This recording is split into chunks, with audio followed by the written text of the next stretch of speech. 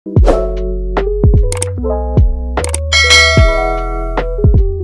semua, hari ni saya nak share macam mana cara nak buat video listing untuk produk kita dekat Easy. Okey, untuk siapa-siapa yang tak tahu apa tu video listing. Okey, kalau korang nak upload produk dekat Easy, korang akan klik add the listing kan. Lepas tu kat sini kita boleh masukkan fotos dan kita boleh masukkan video juga. So, ni lah video listing yang saya masukkan. Kalau baca kat sini, dia ada tulis bring your product to life with a 5 to 15 second video. It could help you drive more sales. Okay, so dekat sini kita boleh upload video dalam tempoh masa 5 hingga 15 saat. And bila kita buat video tentang produk kita ni, dia boleh bantulah untuk bawa lebih ramai customer ke kedai kita. Sebab dia boleh tengok penggunaan produk tu secara realistik kan. Jadi saya nak share lah macam mana cara nak buat video listing ni sebab ramai yang tanya macam mana nak buat. Okay, cara dia mudah je. Let's say korang dah siapkan sebuah produk korang kan. Korang dah siap design produk korang dekat Canva. Saya ambil contoh produk ni. Okay, kalau tengok kat sini produk ni ada banyak page. Okay, ada ada sampai 12 page. So, cara pertama korang boleh save produk korang ni dalam bentuk video. Klik share. And then klik download. Lepas tu dekat bahagian file type ni, pilih MP4 video. Lepas tu klik download. Okay. Dia akan save produk kita ni dalam bentuk video. Okay, kalau kita tengok kat sini. Ha, dia akan bertukar jadi video lah. Okay, cumanya bila korang save produk korang ni dalam bentuk video dekat Canva tu, masa dia tak semestinya jadi 15 saat. Macam contoh produk yang saya tunjuk ni, masa video ni adalah 1 minit which is 60 second. Sedangkan dekat Easy tadi Kalau kita nak upload video Kita boleh upload video 15 saat je paling lama Okey jadi macam mana Cara korang nak Edit video daripada 60 second ni Jadi 15 saat je Korang boleh guna Apa-apa je Video editing software Yang korang suka untuk Pendekkan masa video ni Kalau macam Saya saya suka guna InShot dekat dalam phone saya Sebab macam mudah kan jadi uh, dalam tutorial ni saya akan tunjuk cara nak edit video guna InShot lah. So first saya akan transfer dulu video yang saya dah save ni ke phone saya. Boleh transfer guna Telegram ke email ke uh, ikut korang lah. Kalau saya, saya transfer guna Send Anywhere. App Send Anywhere ni salah satu apps yang sangat power lah untuk pindahkan file daripada uh, laptop ke phone ke phone ke laptop ke detail tentang Send Anywhere. Ni korang boleh tengok video yang saya dah share sebelum ni. Boleh klik info card dekat atas kalau korang nak tahu lebih lanjut. Ok so saya akan transfer dulu video saya yang tadi.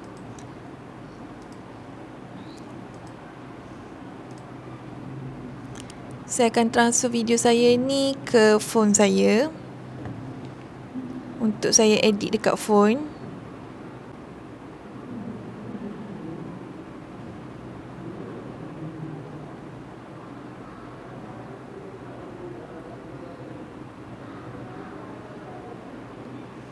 Okay, saya dah terima saya punya video dekat phone. Now, saya akan edit guna InShot. Kalau korang berminat juga nak edit guna InShot and korang tak ada lagi apps InShot ni, pergi je dekat Play Store and type je InShot Lepas tu korang pilih logo yang warna merah and then korang kena klik install. Macam saya, saya dah install kan. So, saya just open lah. Okay. Lepas tu, kita klik video sebab nak edit video. Klik new. Lepas tu, masukkan video yang kita nak edit.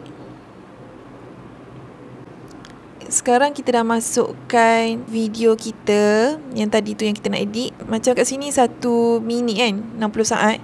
So, ada orang dia nak pendekkan uh, video ni jadi 15 saat, dia just uh, tengok je sampai saat ke-15. Lepas tu dia klik split. Split ini macam uh, kerat. So, kita kerat video asal tadi, dia akan jadi dua klip lah. Bahagian depan dengan bahagian belakang.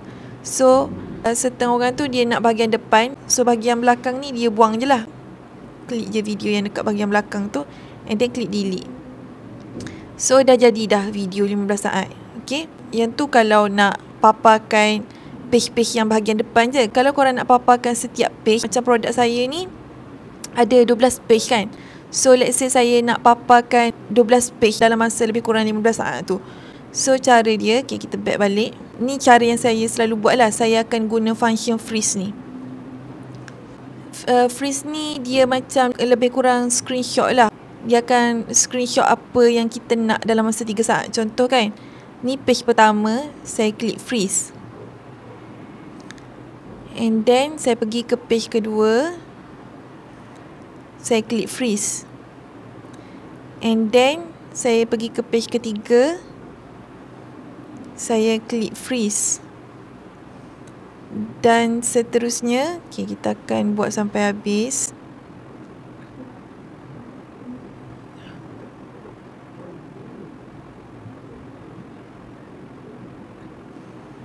Okay Lepas kita dah siap freeze setiap page tu Kita tekan lama-lama Dia akan jadi macam ni. And kalau korang tengok Dia dah jadi ada banyak klip dah. So saya akan ambil klip yang saya freeze je tadi Which is yang saya nak lah. Yang saya tak nak tu saya buang je lah. So saya buang yang lain-lain Selain daripada yang 3 saat ni. Yang kita nak buang tu tekan je And klik delete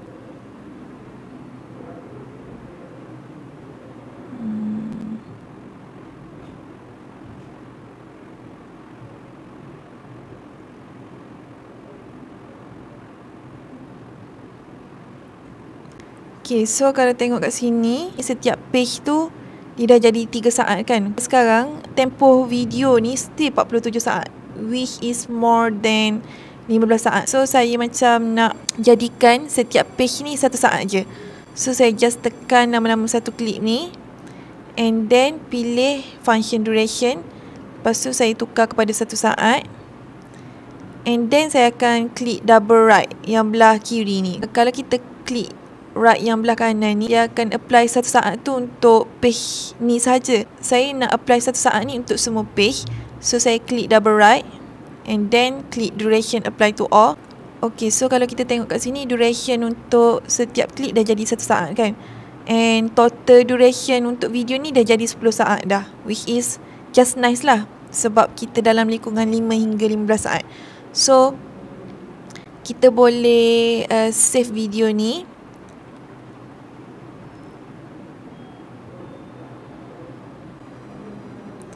Dan kita akan pindah balik ke laptop kita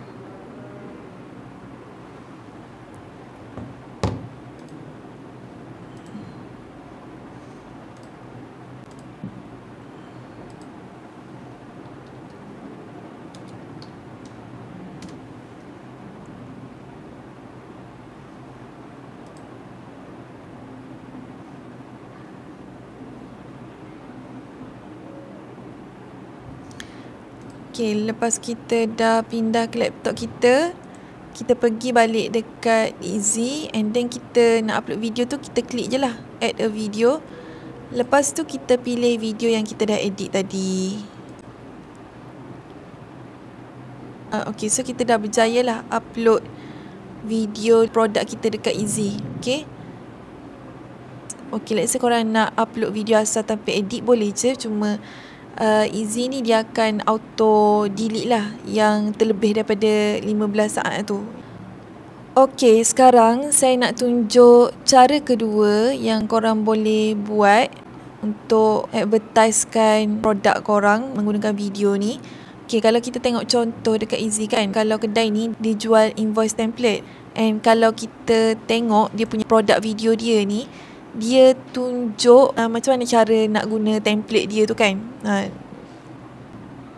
so ni pun salah satu kaedah yang menarik lah untuk advertisekan produk korang guna video. So macam mana nak buat video yang style macam ni. Korang boleh guna screen record. Again, korang boleh record screen komputer korang tu guna apa-apa jenis screen recording apps yang korang tahu guna OBS ke Screenomatic ke built-in function ke. Okey untuk tutorial ni saya akan tunjuk macam mana nak screen record kita punya produk tu guna built-in function screen recording yang memang dah ada dalam komputer kita. Okey cara dia kita pergi dulu ke kita punya produk tu. Contoh korang dah design produk korang dekat Canva sebuah template and then korang nak buat video yang style macam tadi tu kan so kita buka dulu kita punya produk template ni And then kita start screen record. Cara nak screen record guna built-in function. Dekat keyboard korang tu, korang klik window, alt dengan R. Okay, bila kita klik window, alt dengan R tu, dia akan start record kita punya screen tu lah. Uh, korang akan nampak pop-up record function dekat korang punya screen. Okay, kat sini dia memang dah start record dah. So, kita bolehlah start uh, buat apa-apa dekat produk kita ni kan. Tunjuk kat orang macam mana nak guna kan.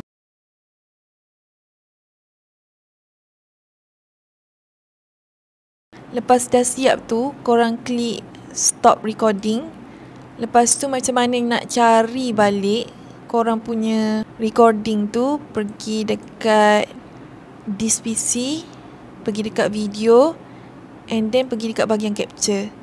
Okay, kat sini dia akan simpan video yang kita dah screen record tadi. Ni video yang kita dah screen record tadi. Okay, kalau tengok kat sini masa dia dah terlebih 15 saat kan. Uh, again korang boleh edit lah video korang ni. Biasanya kalau nak edit kita pendekkan masa dia dan juga kita nak buang benda-benda lain yang tak berkaitan ni, yang ke atas-atas ni yang tak berkaitan kan. So kita nak buang. So saya tunjuk juga sikit cara nak edit video yang style macam ni. Macam biasa saya akan edit guna InShot dalam phone saya. So saya pindah dulu video ni ke phone saya.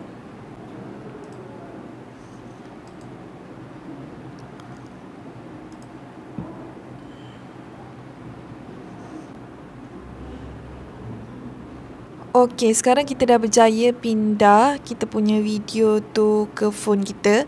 So, kita nak edit guna InShot. Klik InShot. Klik video. Klik New. Lepas tu, kita masukkan video yang kita nak edit tadi. Sekarang, saya dah ada video saya tu kan. So, saya akan pilih lah part mana yang saya nak, part mana yang saya tak nak. Macam untuk pilih part mana yang kita nak, yang kita tak nak tu, kita kena play lah. Play dan tengok mana yang kita nak buang kan. Let's say kita nak buang uh, daripada depan tu hingga ke bahagian ni. So yang uh, batang ni dia macam indikator lah kat mana kita nak kerat. Ok contoh saya nak kerat kat sini kan. Saya akan klik split. Uh, dia akan pisahkan daripada satu klip jadi dua klip. So kita pilih klip yang bahagian hadapan tu yang saya nak buang tadi.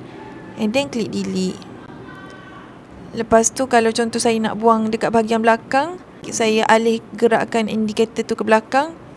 And then saya akan klik split. Lepas tu saya akan tekan uh, klik video yang bahagian belakang, saya akan buang. Delete. Okay. Okay, contoh kalau saya nak buang yang bahagian tengah pula.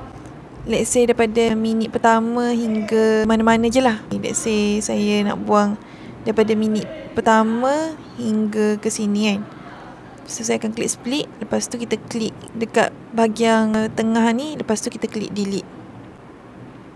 So itulah cara macam mana kita nak buang part-part yang kita tak nak kan.